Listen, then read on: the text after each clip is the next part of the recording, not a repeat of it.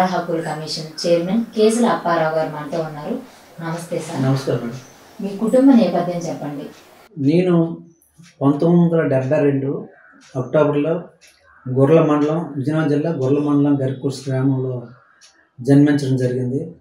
మా తండ్రి గారు క్యాసల్ పైడి తల్లి గారు అలాగే మా తల్లి గారు క్యాసల్ చంద్రమ్మ. వాళ్ళు మా మదర్ ఏమో ఒక టెన్ ఇయర్స్ బ్యాక్ చనిపోవడం జరిగింది. మా ఫాదర్ కూడా త్రీ ఇయర్స్ బ్యాక్ చనిపోవడం జరిగింది. మాకు ఇద్దరు అన్నదమ్ములు ఉన్నారు. ఒక సిస్టర్ కూడా సిస్టర్ కూడా చనిపోయారు. మా బ్రదర్ కూడా చనిపోయారు. అయితే నేను గుర్ల మండలం గ్రామంలో ఒకటో తరగతి నుండి ఐదో తరగతి వరకు మా సొంత గ్రామంలో మేము విద్యాభ్యాసం చేయడం జరిగింది. తర్వాత సిక్స్త్ నుండి టెన్త్ క్లాస్ వరకు మాకు సుమారుగా మా గ్రామానికి సుమారుగా ఏడు కిలోమీటర్ల దూరంలో గల కలవచారులనే ఊరిలో ప్రతిరోజు ఇటు నుండి నడిచి అటు నుండి నడిచి సుమారుగా పదిహేను కిలోమీటర్లు నడవడం జరిగింది. అలాగే ఆరో తరగతి నుండి టెన్త్ క్లాస్ వరకు కూడా అక్కడే చదవడం జరిగింది. మా హై స్కూల్ ఎడ్యుకేషన్ కంప్లీషన్ అయిన తర్వాత ఇంటర్మీడియట్ గ్రాడ్యుయేషన్ కూడా ఎంఆర్ కాలేజీలో చేయడం జరిగింది. ఎంఆర్ కాలేజీలో పంతొమ్మిది వందల తొంభై ఒకటిలో నా గ్రాడ్యుయేషన్ కంప్లీట్ అయిన వెంటనే ఆంధ్ర యూనివర్సిటీలో ఆసెట్ రాసి పోస్ట్ గ్రాడ్యుయేషన్ చేయడం జరిగింది. పోస్ట్ గ్రాడ్యుయేషన్ తొంభై నాలుగులో అయిపోయింది. తొంభై నాలుగులో అయిన వెంటనే పోస్ట్ గ్రాడ్యుయేషన్లో కూడా నేను గోల్డ్ మెడల్ సాధించాను. అయితే గౌరవ అప్పటి గవర్నర్ కృష్ణకాంత్ గారి చేతుల మీదుగా నేను గోల్డ్ మెడల్ ఆంధ్ర యూనివర్సిటీ కాన్వకేషన్లో తీసుకోవడం జరిగింది. ఆ కంప్లీట్ అయిపోయిన తర్వాత ఎడ్యుకేషన్ కంప్లీట్ అయిపోయిన తర్వాత లాలో చౌడ ఆంధ్ర యూనివర్సిటీలో జాయిన్ అవ్వడం జరిగింది. ఆంధ్ర యూనివర్సిటీలో లా కూడా పంతొమ్మిది వందల తొంభై ఏడు సెప్టెంబర్లో ఎగ్జామ్స్ రాయడం జరిగింది ఫైనల్ ఇయర్ ఎగ్జామ్స్. పంతొమ్మిది వందల తొంభై ఏడు ఆగస్టులో మొత్తం నా ఎగ్జామ్స్ అయిపోయిన తర్వాత పంతొమ్మిది వందల తొంభై ఏడు డిసెంబర్ నాలుగో తేదీన నాకు వివాహం జరిగిందండి జరిగిన తర్వాత అక్కడ వరకు నా ఎడ్యుకేషన్కి ఫుల్ స్టాప్ పెట్టడం జరిగింది.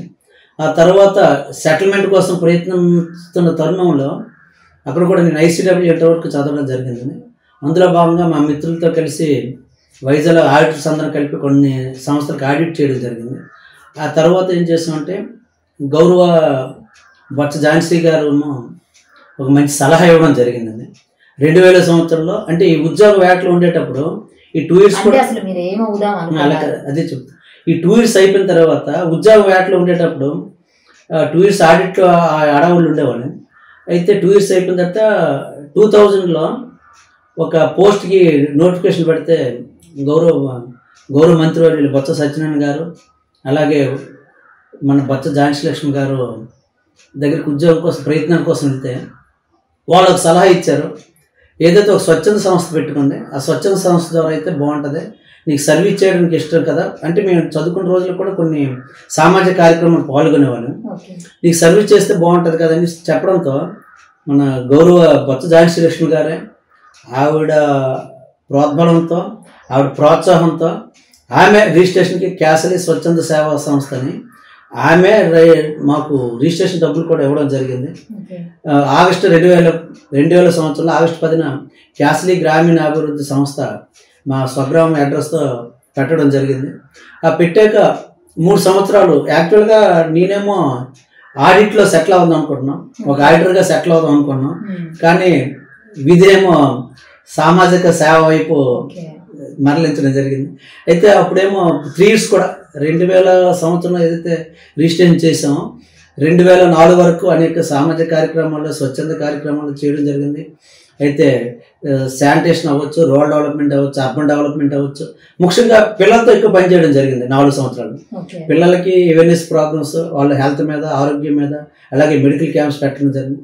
నాలుగు సంవత్సరాలు అయ్యాక మనకి పిల్లలతో పనిచేసే ఒక ప్రాజెక్ట్ ఒకటి వచ్చింది రెండు వేల ఐదులో నేషనల్ చైల్డ్ లేబర్ ప్రాజెక్ట్ అని ఎవరైతే బడి మానేసిన పిల్లలు ఉన్నారో ఎవరైతే బడి బడిఈడి పిల్లలు ఎవరు ఉన్నారో బడికి వెళ్ళకుండా డ్రాప్ అవుట్స్ ఎవరైతే ఉన్నారో వాళ్ళందరినీ కూడా గ్యాదర్ చేసి గొర్రెల మండలంలో ఒకటి నెల్లిమర్ల మండలంలో ఒకటి రెసిడెన్షియల్ బ్రిడ్జ్ స్కూల్స్ ఈ డ్రాప్ అవుట్స్ పిల్లల కోసం పెట్టడం జరిగింది. ఆ రెసిడెన్షియల్ బ్రిడ్జ్ స్కూల్స్ కూడా నాకు ఈరోజు పిల్లలతో పనిచేసినందుకు ఈరోజు భగవంతుడు ఈరోజు ఈ రకంగా నాకు ఉన్న స్థానంలో కనిపించదు ఏదైతే రాష్ట్ర స్థాయిలో పిల్లలకి దశ దిశ నిర్దేశం చేసే ఒక ఉన్నతమైన రాజ్యాంగబద్ధమైన పదవి ఏదైతే ఉందో బాల హక్కుల కమిషన్ చైర్పర్సన్గా ఈరోజు ఇక్కడ మంగళగిరిలో ఒక ఉన్నత స్థానంలో ఉన్నా బాలలకి ఆంధ్రప్రదేశ్ రాష్ట్ర రాష్ట్రంలో ఏదైతే జనాభాలో థర్టీ ఫైవ్ పర్సెంట్ నుండి ఫార్టీ ఫైవ్ పర్సెంట్ వరకు ఫార్టీ పర్సెంట్ వరకు పిల్లలు ఉన్నారో వాళ్ళకి సేవ చేసే భాగ్యం వాళ్ళకి దిశ దశ నిర్దేశించే రాజ్యాంగబద్ధమైన అధికారులు పదవి నాకు ఈరోజు నా చేతికి అందిపుచ్చుకున్నాను. అయితే ఇంకో విషయం అంటే రెండు వేల నాలుగు ఐదులో ఈ బాల కోసం పనిచేయడం జరిగింది. సుమారుగా ఒక పదహారు వందల మంది పిల్లల్ని ఉమ్, మెయిన్ స్ట్రీమ్ చేయడం జరిగింది. ఎవరైతే మా దగ్గర చేశారో నెల్లిమర్ల గొర్రెల్లో ఆ పిల్లలు అయితే వాళ్ళకి ఒకేషనల్గా అలాగే ట్రైనింగ్స్ వాళ్ళకి ఏ రంగంలో ఇష్టమైతే ఆ ట్రైనింగ్స్ ఇవ్వడం జరిగింది. ఒకేషనల్గా వాళ్ళకి కొన్ని కార్యక్రమాలు చేయడం జరిగింది. అలాగే కౌన్సిలింగ్ కూడా ఇవ్వడం జరిగింది. అయితే రెండు వేల ఆరు ఏడు ప్రాంతంలో మనం చేయడం జరిగింది. సుమారుగా పన్నెండు వందల ప్లస్ పిల్లల్ని మెయిన్ స్ట్రీమ్ చేయడం జరిగింది. ఆ తర్వాత కూడా నేషనల్ చైల్డ్ లేబర్ ప్రాజెక్ట్ ద్వారా అలాగే అప్పుడు రాజ్య విద్యా మిషన్ ఉండేది. ఆ దాని ద్వారా కూడా నాన్ రెసిడెన్షియల్ బ్రిడ్జ్ స్కూల్స్. అంటే హాస్టల్స్ కాకుండా ఉదయం వచ్చేవారు చదువు చెప్పేవారు లంచ్ అరేంజ్ చేసిన తర్వాత పిల్లలు సాయంత్రం ఐదు గంటలకు వెళ్ళిపోయేవారు. ఆ నాన్ రెసిడెన్షియల్ బ్రిడ్జ్ స్కూల్స్ కూడా గొర్రెల మండలంలో నెల్లిమర్ల మండలంలో పెట్టడం జరిగింది. అది రెండు వేల ఎనిమిది వరకు తొమ్మిది వరకు ఆ కార్యక్రమాలు చేపట్టడం వల్ల ప్రభుత్వం అప్పుడు అప్పుడున్న ప్రభుత్వం ఏం చేసిందంటే జిల్లా స్థాయిలో బాలలకి సక్ష- రక్షణ సంరక్షణ సంబంధించిన పూర్తి స్థాయి అధికారులు గల జిల్లా బాలల సంక్షేమ సమితి అనే ఒకటి ఉండేది. దానిలో నేను అప్లై చేయడం జరిగినప్పుడు నాకు ఆ, సభ్యులుగా రెండు వేల పదిలో నియామకం చేపట్టడం జరిగింది. అయితే నాకు ఇచ్చిన ఏదైతే బాధ్యతలు జిల్లా బాలల సంక్షేమ సమితి మెంబర్గా సభ్యులు నాకు ఏదైతే బాధ్యతలు అప్పచెప్పారో అప్పుడు కూడా ఈ జిల్లా బాలల సంక్షేమ సమితి కొత్తగా ఏర్పడ్డారు మా ముందు. మా విధులేంటి మా విధానాలు ఏంటి మా అధికారాలు ఏంటి బాధ్యతలు కూడా తెలియని పరిస్థితిలో ఉమ్, మాకు చేతనైనంత వరకు మేము చేసాం అప్పుడు కొత్త అసలు కొత్తగా ప్రవేశపెట్టడం జరిగింది. ఉమ్, అయితే చేయడం జరగడం వల్ల ప్రభుత్వం కూడా మాకు రెండు వేల పద్నాలుగులో జిల్లా బాలల సంక్షేమ సమితి విజయనగరం జిల్లా చైర్పర్సన్గా నియామకం చేపట్టారు. అయితే నాకున్న సభ్యులుగా ప్రీవియస్ అనుభవం ఉండడం వలన అందుకు అంతేకాకుండా ఎన్జిఓ ఎక్స్పీరియన్స్ అప్పటికే ఒక టెన్ ఇయర్స్ పిల్లల మీద పనిచేసే అనుభవం ఉంది. దీనివలన జిల్లా బాలల సంక్షేమ చైర్పర్సన్గా రెండు వేల పద్నాలుగులో అపాయింట్ చేశారు గవర్నమెంట్. రెండు వేల పద్నాలుగు నుండి రెండు వేల పదిహేడు వరకు నేను ఆ బాధ్యత నిర్వర్తించడం జరిగింది. అయితే నాకు సాయశక్తుల ట్వంటీ ఫోర్ బై సెవెన్ ఇప్పుడు కూడా ఎల్లల వాళ్ళు కూడా నా శక్తి మేరకు నాకున్న అధికారులు కానీ అనధికారులు కానీ వాళ్ళ సూచనలు ప్రజాప్రతినిధులు అలాగే వివిధ బాలలతో పనిచేసిన వివిధ సంస్థలు సంఘాలు ఏదైతే వాళ్ళు ఇచ్చిన సలహాలు సూచనల మేరకు మేము పూర్తి స్థాయిలో అయితే ఒక ఉద్యోగినిగా ఒక ఉద్యోగస్తుడిగా చేయడం బాధ్యతలు చేపట్టడం జరిగింది. అయితే ఆ భగవంతుడు కూడా మళ్ళీ ఈ సేవను రాష్ట్ర స్థాయిలో కావాలనుకొని రెండు వేల పదిహేడులో రాష్ట్ర బాల హక్కుల కమిషన్ సభ్యుడిగా ప్రభుత్వం ఎంపిక చేయడం జరిగింది. రెండు వేల పదిహేడులో కూడా అప్పుడు కూడా మాదే ఫస్ట్ అండి. జిల్లా రాష్ట్ర స్థాయిలో బాల సంక్షేమ సమితి బాల సంక్షేమ చైల్డ్ రైట్స్ కమిషన్ కూడా అదే ఫస్ట్ టైం ఏర్పాటు చేయడం. అప్పుడు కూడా దాని తాలూకు విధి విధానాలు తెలియకపోవడం దురదృష్టవశాత్తు రెండు వేలలో కరోనా ఒకటి రావడం మా మా ఏదైతే బాధ్యతగా పూర్తి స్థాయిలో చేద్దాం అనుకునేటప్పుడు ఒక పక్క ఆఫీసులు లేవు ఒక పక్క సిబ్బంది లేదు ఒక పక్క కొత్త. కమిషన్ కూడా ఏర్పడడం కొత్త మాతో స్టార్ట్ అయింది నెక్స్ట్ ఆఫీస్ కూడా లేదు సిబ్బంది కూడా లేదు. అయితే మాకు పూర్తిగా మా కమిషన్కి ఉన్న పూర్తిగా అధికారులు ఉండి అధికారులు పూర్వ అనుభవం రెండు మిళితం చేసి మేము రాష్ట్ర స్థాయిలో అన్ని జిల్లాలో పర్యటించి ఈ కమిషన్ తాలూకా విధి అంటే విధానం ఏంటి బాధ్యతలు ఏంటి కూడా అధికారులకి అనధికారులతో కూడా పాల్గొని చాలా వరకు కార్యక్రమాలు మా శక్తి మేరకు చేయడం జరిగింది. అయితే రెండు వేల పదిహేడు నుండి రెండు వేల ఇరవై వరకు మేము మెంబర్గా వచ్చి బాధ్యతలు చేపట్టడం జరిగింది. ఆ తర్వాత రెండు వేల ఇరవైలో నోటిఫికేషన్ వేసడం జరిగింది. Term three years okay. దేనికైనా బాలలతో పనిచేసిన సంస్థలు ఏమైనా దాన్ని కాలపరిమితి త్రీ ఇయర్స్. అది అయిపోయిన తర్వాత మేము ఏం చేస్తామంటే రెండు వేల ఇరవైతో అయిపోయింది ఆగస్టులో. నోటిఫికేషన్ వేయడం జరిగింది. నోటిఫికేషన్ ఒక టూ ఇయర్స్ డిలే అయింది. టూ ఇయర్స్ డిలే అయిన తర్వాత మళ్ళీ నేను అప్లై చేశాను.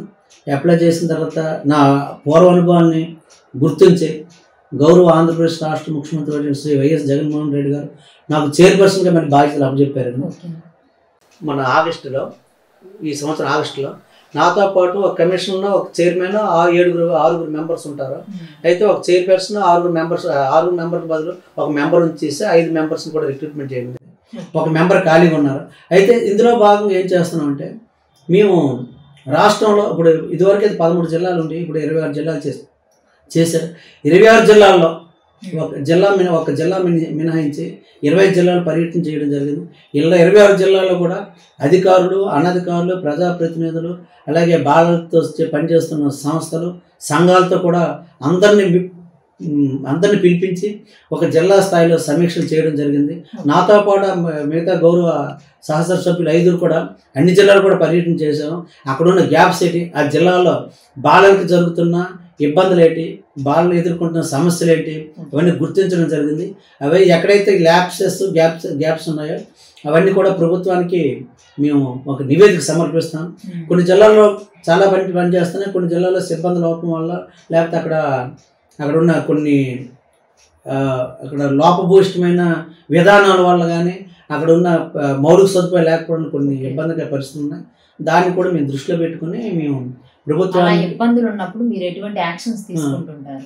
భారతదేశంలో బాలల కోసం రూపొందించిన చట్టాలు ఏవైతే ఉన్నాయో దాన్ని మానిటరింగ్ చేయడం పర్యవేక్షించి వాళ్ళని పాలసీస్ తయారు చేసి ఎక్కడైతే ల్యాబ్స్ కానీ గ్యాప్సెస్ ఉన్నాయో ప్రభుత్వానికి కానీ అలాగే డిపార్ట్మెంట్ కానీ తెలియజేయడం వాటి పరిష్కారం దశగా బాల హక్కుల కమిషన్ పనిచేస్తుంది. ఏదైతే బాలల కోసం రూపొందించిన మన చట్టాలని వాటిని కఠినతరంగా అమలు చేయడానికి బాధ్యతను కమిషన్ తీసుకుంటుంది. ఫర్ ఎగ్జాంపుల్ ఫోక్స్ యాక్ట్ అవ్వచ్చు ఆ రైట్ టు ఎడ్యుకేషన్ యాక్ట్ అవ్వచ్చు లేదా చైల్డ్ మ్యారేజ్ ప్రొబిషన్ యాక్ట్ అవ్వచ్చు అలాగే చైల్డ్ లేబర్ యాక్ట్ అవ్వచ్చు రకాల పీసీపీ ఇండిటీ యాక్ట్ అవ్వచ్చు. ఏవైతే బాలల కోసం రూపొందించిన చట్టాలు ఏవైతే ఉన్నాయో వాటిని కఠినంగా అమలు చేయడానికి బాల హక్కుల కమిషన్ నిరంతరం కృషి చేస్తుందండి. అందులో భాగంగా మేమేం చేస్తున్నామంటే ఈ బాలల కోసం రూపొందించిన చట్టాలు అమల్లో భాగంగా జిల్లా స్థాయిలో సమీక్షలు నిర్వహించడం జరిగింది. ఎందుకంటే ఫస్ట్ మన తాలూకా జిల్లా తాలూకా ప్రతి జిల్లాలో ఒక్కొక్క జిల్లాలో ఒక ఒక్కొక్క జిల్లాలో ఒక సమస్య ఉంటుందండి. ఆ జిల్లా స్థాయిలో ఇక్కడ కొన్ని ప్రాంతాల్లో చైల్డ్ లేబర్ ఎక్కువ ఉంటారు. కొన్ని ప్రాంతాల్లో చైల్డ్ మ్యారేజ్ ఎక్కువ దొరుకుతాయి కొన్ని ప్రాంతాల్లో చైల్డ్ అబ్యూజ్ కంటే కొన్ని ప్రాంతాలు ఏ ప్రాంతంలో రకరకాల ఇష్యూస్ ఉంటాయి ఆ ప్రాంతంలో ఉన్న ప్రాబ్లమ్స్ ఐడెంటిఫై చేస్తాం. పిల్లలకు సంబంధించిన రైట్స్ ఎక్కడైతే వైలేషన్ జరుగుతున్నాయో ఆ వైలేషన్ సంబంధించి ఫస్ట్ ఐడెంటిఫై చేసి దానికి పరిష్కార మార్గాలు మేము వెతుకుతున్నాం. వాళ్ళకి డైరెక్షన్స్ ఇస్తాము అలాగే కాకుండా మళ్ళీ మీడియా మీడియా ద్వారా కానీ print and electronic media media కానీ అలాగే సోషల్ మీడియా ద్వారా కానీ కొన్ని కేసులు వస్తుంటాయి. ఆ కేసులు కూడా మీ బాల హక్కుల కమిషన్ ఏం చేస్తుంటే సుమోటోకి తీసుకుంటాం.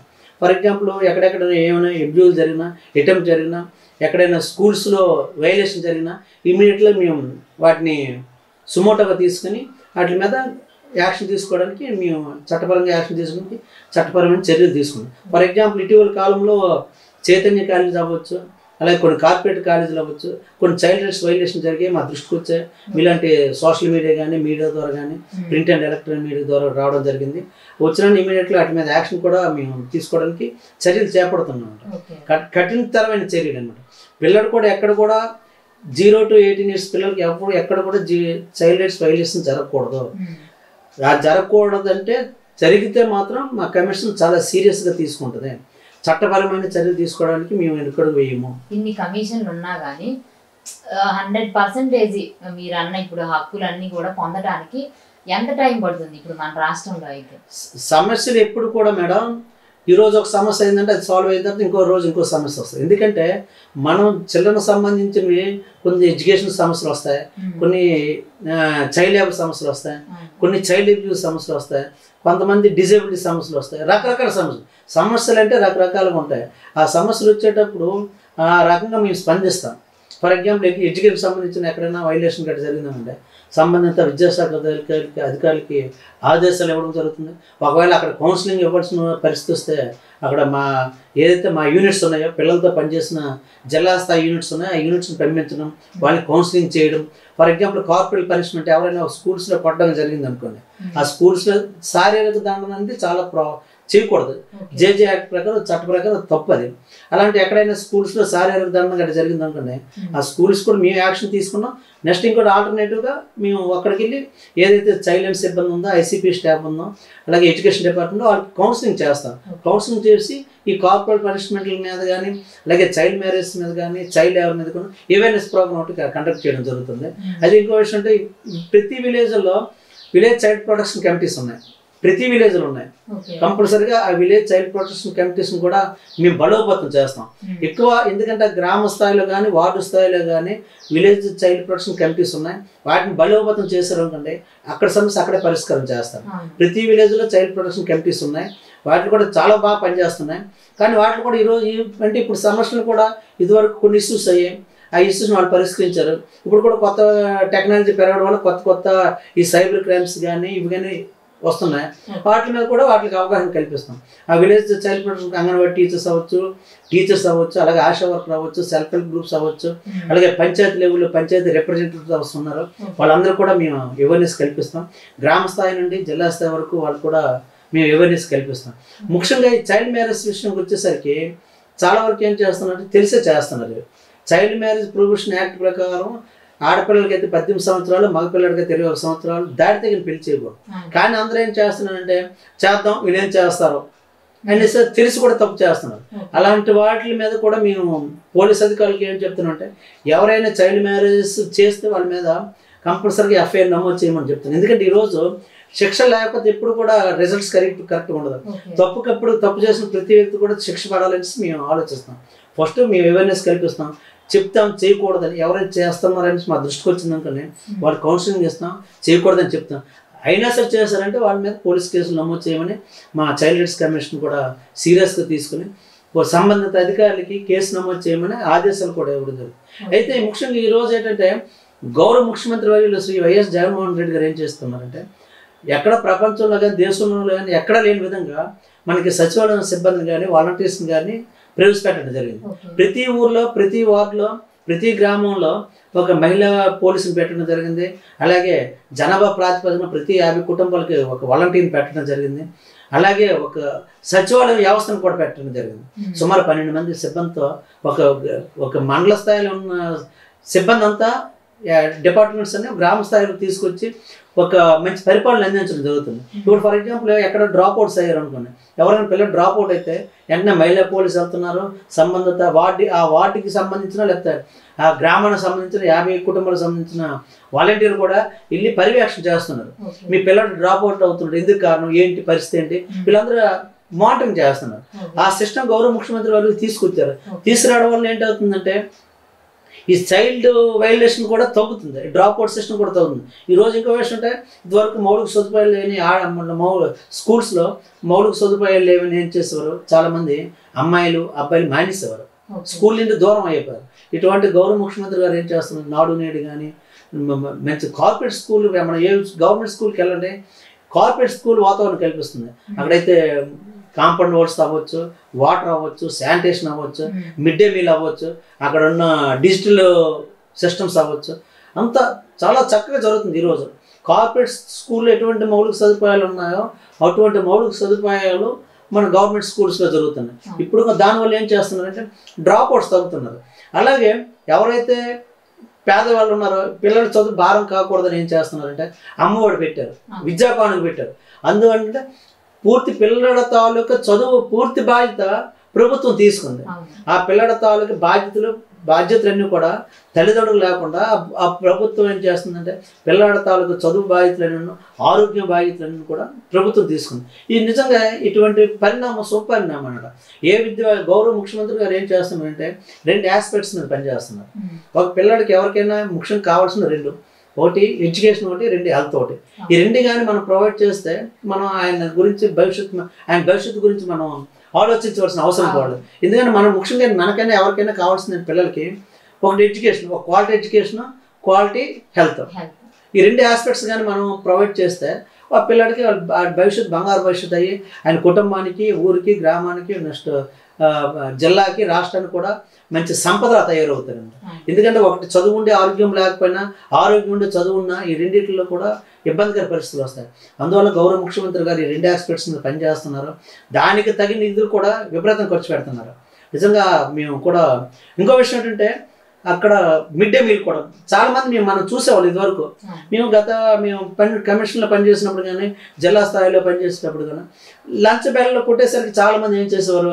ప్లేట్లు పట్టుకొని ఇంటికి వెళ్ళిపోయేవారు. మధ్యాహ్నం భోజనం కాకపోతే ఈ రోజు ఆ పరిస్థితి లేదు. ఎందుకంటే మంచి క్వాలిటీ ఫుడ్ పెడుతున్నారు? క్వాంటిటీ ఫుడ్ పెడుతున్నారు?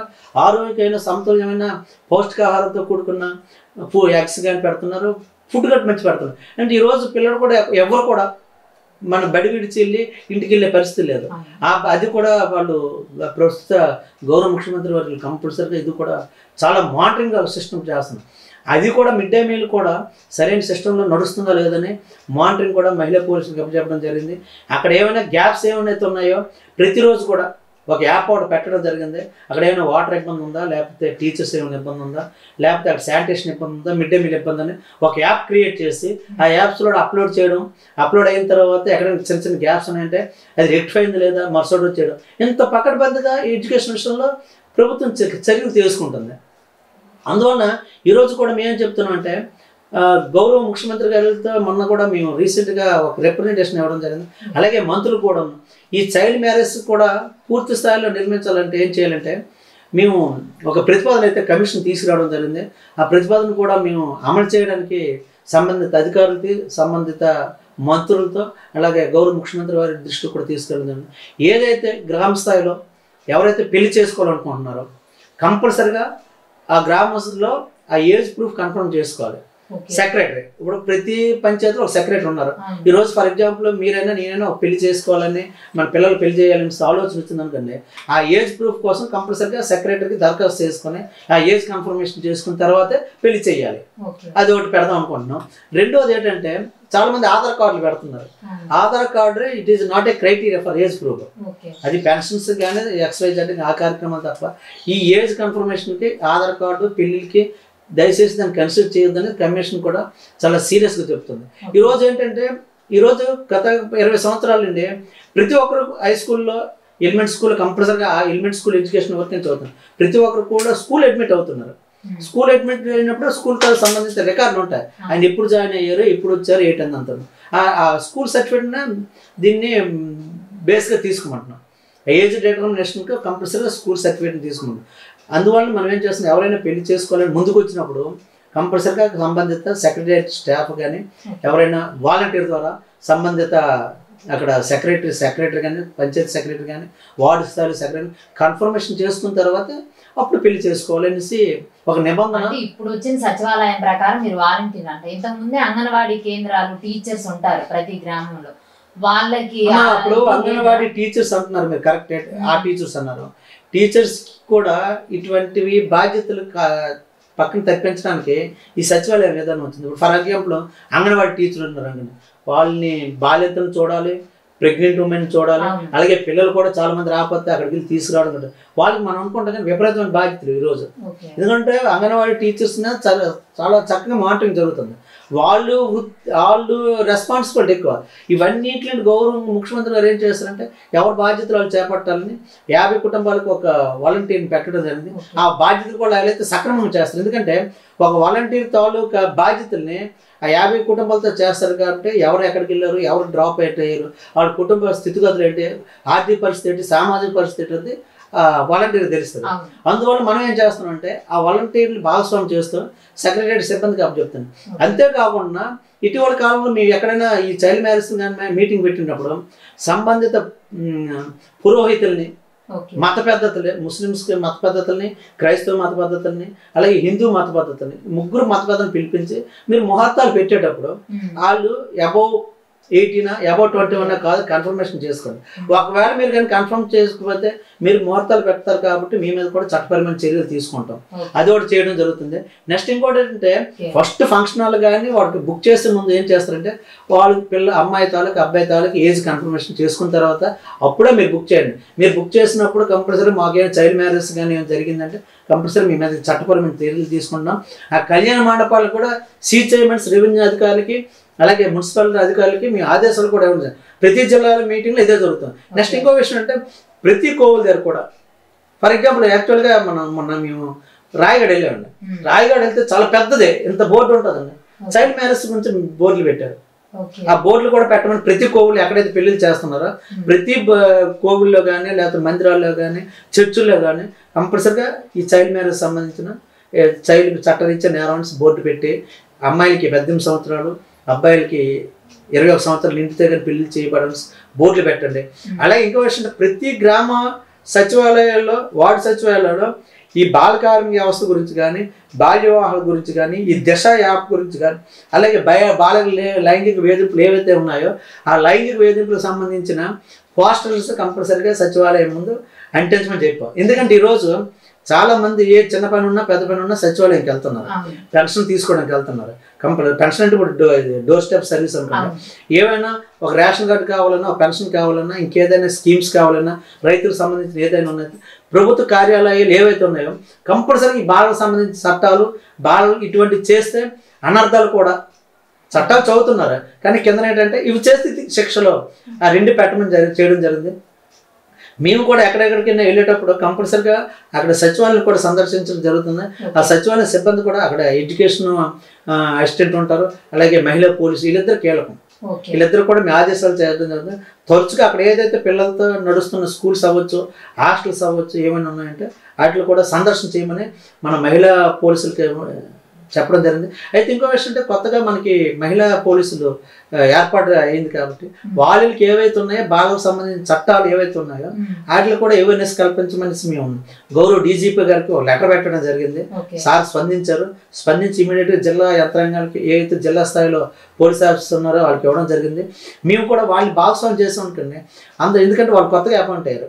వాళ్ళకి నాలెడ్జ్ ఉంది. ఉమ్. కాకపోతే చట్టం సంబంధించిన పూర్తి స్థాయి నాలెడ్జ్ సెక్షన్లు ఏంటి ఈ సెక్ సెక్షన్లు ఏంటంది తెలియ తెలియజేయవలసిన అవసరం ఉందని మేము కూడా మండల స్థాయిలో కూడా మేము ఎవరైతే గ్రామ స్థాయిలో ఉన్నారో మండల స్థాయిలో ఉన్నారో నియోజకవర్గం స్థాయిలో ఉన్నారో ఆ మహిళా పోలీసులకి అలాగే ఎడ్యుకేషన్ వాలంటీర్కి మేము ట్రైనింగ్స్ ఇవ్వడానికి ప్లాన్ చేస్తున్నామండి. ఓకే అయితే ఈ ఏదైతే రెవెన్యూ సిబ్బంది అలాగే పంచాయతీరాజ్ సిబ్బంది వీళ్ళిద్దరికి కూడా మేము భవిష్యత్తులో తగిన ఆదేశాలు ఇవ్వమనేసి సంబంధిత రాష్ట్ర అధికారులు కూడా కోరడం జరుగుతుంది.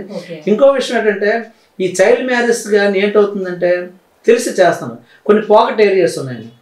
అక్కడ మూఢనమ్మకాల వల్ల. అక్కడ ఆరోగ్య పరిస్థితుల వల్ల తల్లిదండ్రుల ఆరోగ్య పరిస్థితి లేకపోతే కుటుంబ పెద్దల ఆరోగ్య పరిస్థితి మా నాన్న మంచం మీద ఉన్నారు మా అమ్మ మంచం మీద ఉన్నారు చేసేద్దాం అని నేను సి ఆలోచన మీద ఏం చేస్తున్నానంటే కొన్ని మూఢనమ్మకాల వల్ల పెళ్ళి చేస్తున్నారు. మేము. ఏం చేస్తున్నాం అంటే ఎప్పుడు కూడా తప్పు చేసిన శిక్ష పడాలనేసి పోలీస్ కేసు ఇదివరకు పోలీస్ కేసులు ఉండేవి కాదు. మా టీం వెళ్ళేవారు వాళ్ళ దగ్గర ఒక ఎఫిడవిట్ తీసుకుని వచ్చేసేవారు. ఇప్పుడు ఏం చేస్తున్నట్టు పోలీస్ అధికారులకి రెవెన్యూ అధికారులకి ఉమెన్ చైల్డ్ వెల్ఫేర్ డిపార్ట్మెంట్కి మోకమ్మడికి అందరికీ ఏం చెప్తున్నంటే కంపల్సరీగా పోలీస్ కేసు నమోదు చేయండి. ఎప్పుడైతే పోలీస్ కేసు నమోదు చేస్తే భయం అనేది ఏర్పడుతుంది. ఆ భయం ఉండేటప్పుడు తప్పు చేయడానికి వెనకడు చేస్తాం అనేసి ఆ చైల్డ్ మ్యారేజ్ విషయంలో మాత్రం చేస్తాం మేమైతే చైల్డ్ మ్యారేజ్ విషయంలో ఇరవై ఆరు జిల్లాల్లో మేము సుమారుగా ఒక పదిహేడు జిల్లాల్లో కవర్ చేసాము ఓకే. ఇంకా కొన్ని జిల్లాల్లో కవర్ చేయవలసి ఉంది. ఈ ఎందుకంటే ఇప్పుడు మ్యారేజ్ సిస్టమ్స్ ముహూర్తాలు లేవు కాబట్టి ముహూర్తాలు చేసిన టైంలో మేము ఈ త్రీ మంత్స్ కూడా. యాక్టివ్గా చేద్దాం ఆ విషయం జరుగుతుంది